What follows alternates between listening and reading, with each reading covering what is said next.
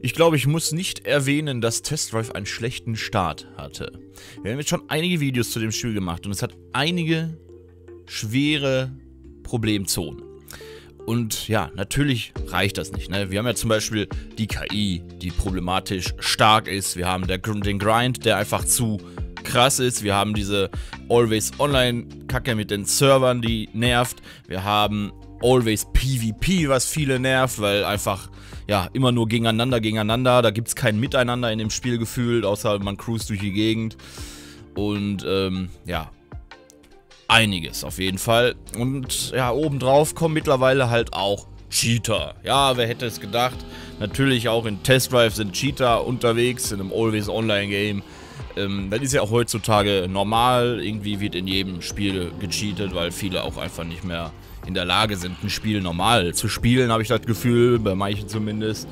Und das trägt das Spiel jetzt scheinbar endgültig zu Grabe.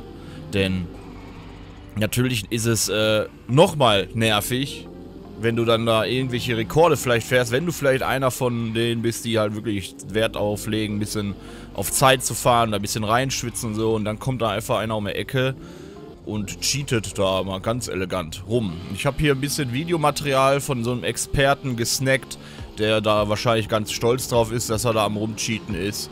Und ja, selbst ein GTA, wo jetzt Anti-Cheat reinkam, ein relativ teures Anti-Cheat, ne? Und selbst da gibt es wieder Cheater oder noch Cheater. Selbst äh, die dicksten Anti-Cheats werden dann nicht immer mit den Cheatern fertig. Aber gut, GTA ist auf einem anderen Level, was das angeht. Und ja, die haben ja mit einem Anti-Cheat rumprobiert da bei Test Drive während der letzten Serverwartung. Ob das jetzt am Ende wirklich noch ins Spiel kommt und ob es was bringt, ist eine andere Frage. Aber ja, wir gucken uns mal ein paar Sachen an, was die denn da so treiben, die Cheater. Hier haben wir einen Cheat, den man ja fast noch nachvollziehen kann, und zwar Freeze AI. Ja, man friert einfach diese übernervige KI ein und äh, kann dann ganz in Ruhe sein Rennen fahren. Und ja, gut, das ist ja fast schon nachvollziehbar, weil die KI ist ja wirklich übertrieben nervig, ne? Aber gut, hier haben wir einen Cheat, der zum Beispiel die Kollision reduziert, wodurch man dann halt nicht so stark ausgebremst wird. Ist in dem Spiel natürlich auch ziemlich OP, weil die einen ja echt hart ausbremsen, die Zäune und so weiter. Wenn man dann die Kurven enger nimmt und so weiter, dann kommt man da halt schneller durch. Hier haben wir einen Cheat, der die Zeit manipuliert. Entschuldigt bitte auch die Auflösung. Der Typ kann sich halt Cheat-Programme und alles leisten, aber für eine richtige Aufnahme ist seine Kartoffel halt nicht imstande. Ähm, ja, damit kannst du die Zeit manipulieren. Er kann Zeit hinzufügen, er kann Zeit entfernen und so kommen halt diese lächerlichen Zeiten auf den Leaderboards zustande. Und ja, dass sowas überhaupt geht, ist halt wirklich... ne, Warum man das macht, keine Ahnung. Man expost sich ja damit auch instant selber. Also, das ist halt das größte Versagertum, was es überhaupt gibt. Diese Zeiten, Cheaten. Das bringt halt nichts, außer dass man in irgendeiner Rangliste steht, auf die sowieso mittlerweile überall gepfiffen ist. Ich meine, in einem Horizon kannst du da nichts mehr zu sagen. In The Crew kannst du. Du kannst einfach Ranglisten in der Regel vergessen online, weil du nie weißt, sind die Zeiten gecheatet. Sogar Zeiten, die legend sind, sind mittlerweile in Gefahr, weil der Dude braucht die Zeit ja nur so lange laufen lassen, dass er nur ein oder zwei Sekunden schneller ist als der Weltrekord und schon denken alle, boah, der ist ja krass. Ja, habe ich euch einen Tipp gegeben, ne? Aber deswegen, ich persönlich achte deswegen schon lange nicht mehr auf Ranglisten und ja, ist halt absolut lächerlich. Ja, hier haben wir einen Cheat, der ja fast schon cool ist. Im Grunde ist es wie das Oldschool Test Drive und zwar kann der Dude sich hin teleportieren, wo er will. Er muss halt nur ein paar Knöpfe drücken. Man sieht jetzt halt sein Menü nicht, aber ja, auf easy peasy, ein paar Clips hier und da und schon ist er auf einmal vor Ort. Ja, das ist nice. Das können die eigentlich auch mal im Main Game einbauen, dass man sich überall hin teleportieren kann, wo man die Straßen schon freigefahren hat. Wie man sieht, ist es ja anscheinend möglich für einen Modder, also müsste das für die Entwickler auch easy implementierbar sein. Dann gibt es zum Beispiel dann noch den Game Speed Cheat, der macht das Spiel halt schneller. Man sieht es ja, muss man nicht groß erklären, ist selbst erklärend. Und natürlich gibt es ja auch noch dann nebenbei kleinere Cheats wie ja, Geld oder EP und und und. Also ja, halt typisch Cheat, man kennt es ja eigentlich. Und ja, das ist auf jeden Fall jetzt gang und gäbe. Ich, ähm, ja, wie gesagt, das ist natürlich auch in anderen Spielen so. Das ist in einem Forza Horizon so, das ist in einem The Crew so. Ne, vor allem auf PC halt ist das schlimm und sobald Crossplay mit ins Spiel kommt, hat man es halt dann auch auf Konsolen. Ähm, und ja, verstehen wird man das sowieso nie. Ich meine, es sind halt meistens Leute, die halt nichts können. Ne? Da muss man einfach mal Real Talk machen. Das sind meistens Leute, die wirklich selbstständig nichts gerallert kriegen in solchen Spielen. Die müssen dann auf solche Mittel zurückgreifen, damit sie sich irgendwie besonders fühlen können, weil sie halt nicht mal schaffen, eine Kurve zu fahren, ohne dabei äh, ein ganzes Haus einstürzen zu lassen oder so.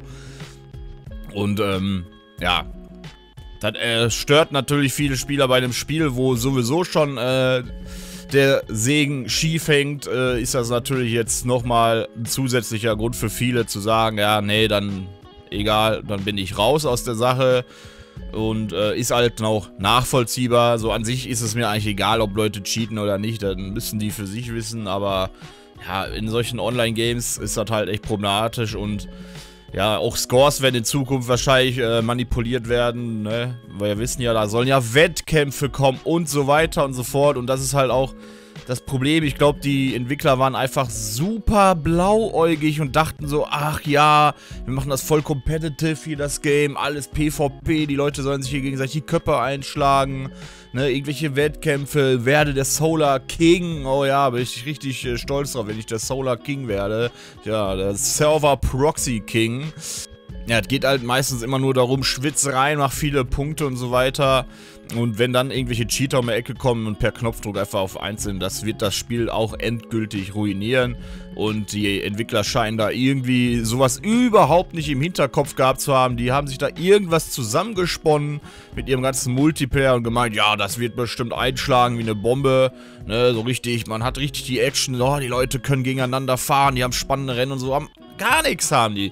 Also könnt ihr ja gerne in die Kommentare schreiben, aber die meisten quitten sofort raus, sobald irgendwer in der Lobby ist. Komme ich irgendwo rein, quitten die Leute raus oder bin ich gerade in der Lobby und einer kommt rein, gehen die meistens auch direkt wieder raus oder ich gehe selber sogar raus, weil ich absolut gar keinen Bock habe in Test Drive auf PvP, weil äh, zum einen gibt es eh nur diese Meta-Autos, äh, die da richtig äh, ne, Sahne unter der Haube haben und äh da wird nur gecrashed und so weiter, deswegen spielen die meisten halt auch kein PvP. Und mit Cheatern und so weiter macht das ja erst recht keinen Spaß, ne? Ich meine, wie lange dauert es, bis irgendeiner in der Lage ist, deinen Spielstand zu resetten oder so durch irgendwelche Cheats und so, ne? Das ist ja schon vorgekommen alles und äh, dann ist erst recht die Hölle los. Also wenn die daran nichts ändern, ist das Spiel wirklich komplett am Ende.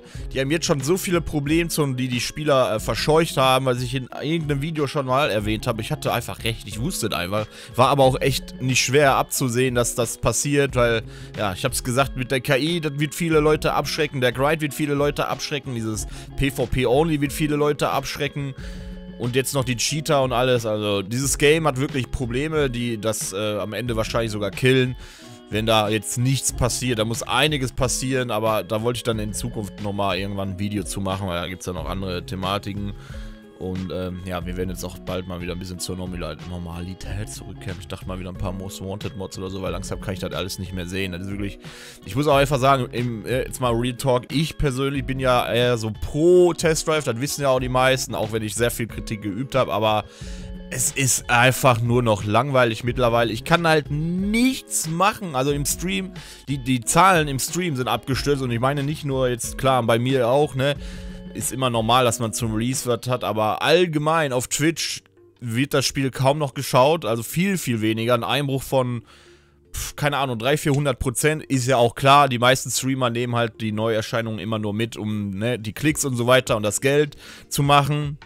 Soll jetzt nichts heißen, ich will hier keinem was vorwerfen oder so, aber ihr werdet auch wissen als Zuschauer, ne, manche spielen die Spiele dann aktiv und dann auf einmal packen sie gar nicht mehr an. Ich meine, ich werde es zwischendurch schon mal wieder anpacken, weil, ne, ich bleib dabei.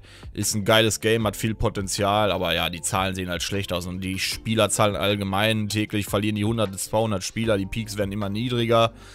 Und ähm, klar, Rennspiele sind so oder so schon eine Nische an sich die haben nie viele Spieler, außer du verramschst deinen Spiel aktuell für 1 Euro wie so Crew, aber wenn du dir dann im Vergleich den neuen Teil Motorfest anguckst, der hat auch nicht viel bessere Zahlen als ein Test Drive aktuell. Aber ja, Test Drive wird auf jeden Fall noch weiter absteigen und ähm, das tut natürlich dem Laden nicht gut. Narcon ist halt auch so ein Publisher, ja, ist jetzt kein EA, aber ganz so weit weg von EA scheinbar auch nicht, was man da so hört, ne? Und, ähm, das sieht schlecht aus im Moment. Man kann nur hoffen, dass sie da wirklich äh, das mit dem Offline-Modus hinkriegen und so weiter. Auch äh, ne, diese ganzen Features, die sie angekündigt haben. Aber gut, da steht ja noch ein Video aus von dem Community Manager oder wer auch immer das da ist, der uns da wieder was erzählen will. Da werden wir dann quasi drauf reacten, denke ich mal. Weil das wird ja schon interessant und äh, gucken wir mal, was er uns da erzählt, wie er sich entschuldigt, was er zu den Servern sagt. Äh, ich bin wirklich gespannt, weil die Frustration war halt auf einem Level, das kann ich kaum noch beschreiben. Also, das letzte Mal habe ich so einen Rage gehabt bei Horizon 5. Da haben ja anfangs die Server auch überhaupt nicht funktioniert. Man konnte Mitspieler kaum sehen oder nicht verbinden, bla bla. Aber du konntest es wenigstens offline dann spielen und grinden. Ne? Das ist ja der feine Unterschied. Serverprobleme haben sie wirklich alle. Selbst The Crew hatte eine ganze Weile lang Probleme mit Crossplay und so. Ne? Also kein Entwickler kann sich freisprechen von diesem Problem. Aber ja, das äh, war halt schon mal ein anderes Level, weil es halt only Dings ist, always online hier, ne? Also immer nur online, online im Grunde fast wie so Crew. Da funktioniert ohne Server ja auch nichts. Und ja, da ist Forza natürlich den beiden Meilen weit voraus, aber gut, das sind auch andere Themen, die jetzt alle zu vergleichen. Aber ja, schreibt mal eure Meinung zu dem Thema in die Kommentare. Was hat euch vertrieben?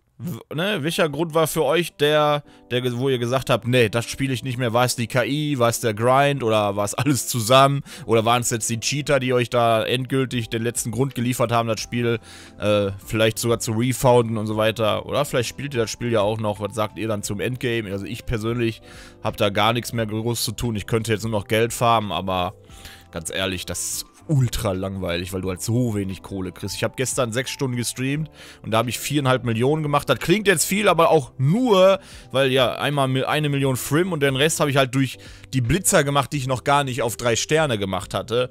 Ja, die geben auch gut Geld. Kleiner Tipp an dem am Rande hier. Ansonsten äh, hätte ich da auch nicht so viel Kohle gemacht, also nee ist mir echt so wild der Grind. Aber ja, schreibt es in die Kommentare. Ich bin raus an der Stelle. Lasst gerne ein Like, um den Kanal zu supporten. Abonnieren nicht vergessen, wenn ihr es noch nicht getan habt. Und bis zum nächsten Video. Vielen Dank und auf Wiedersehen.